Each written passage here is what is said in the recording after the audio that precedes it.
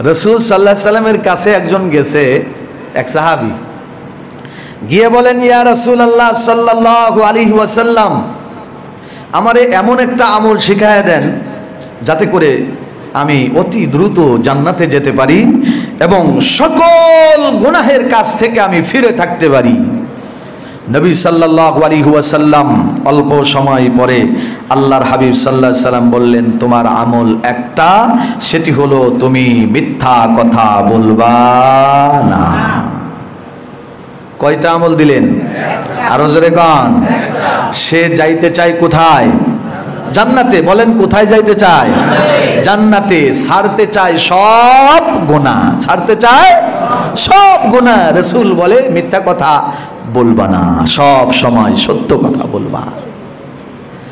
ওই সাহাবি চিন্তা করল এটা কোনো ব্যাপার হইল নি।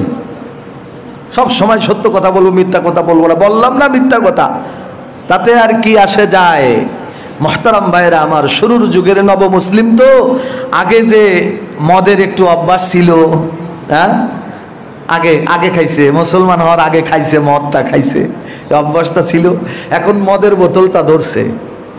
মদের বোতলটা যখন ধরছে, মনের মধ্যে একটা দাগ কাটছে। আমার নবী যদি জিজ্ঞেস করে যে, এই, মদ খাইছো নি? তখন তো মিথ্যা কথা কন যাইব না। তাস করে মদের বোতলটা সঙ্গে সঙ্গে জমিনের মধ্যে ফেলাই দিছে। সোবান আলা বলেন। মদের বোতল ফেলাই দিছে। আরও যে ধরনের অভ্যাস ছিল, সব ধরনের অভ্যাসের সম্মুখীন হয়েছে রসুল বলছে, কয়েকদিন পরে আসবা।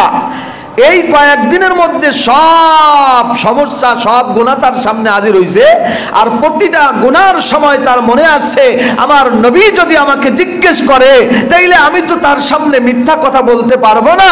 কাজে কাজী সব কিছু ছাইড়া দেয় মোহতারাম ভাইরা আমার আমার নবীর দরবারে কাজু বাজু দিয়া ওই সাহাবি এসে হাজির হলেন, ইয়া রাসূল আল্লাহ সাল্লাল্লাহু আলাইহি ওয়াসাল্লাম, আমার জীবন পরিবর্তনের জন্য একটা আমলই যথেষ্ট হয়ে গেছে জোরে কন্যা সুবহানাল্লাহ।